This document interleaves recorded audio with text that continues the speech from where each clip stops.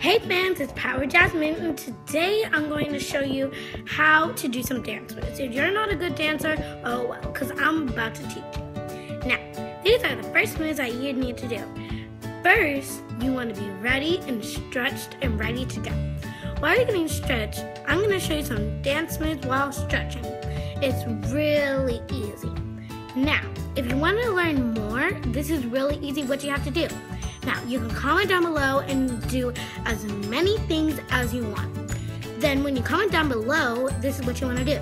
You can tell me how much things you want me to do, and if you've seen this video, wow, that's okay. So, let's get dancing. I also like challenges, and make sure you watch my videos. That makes me smile. Bye!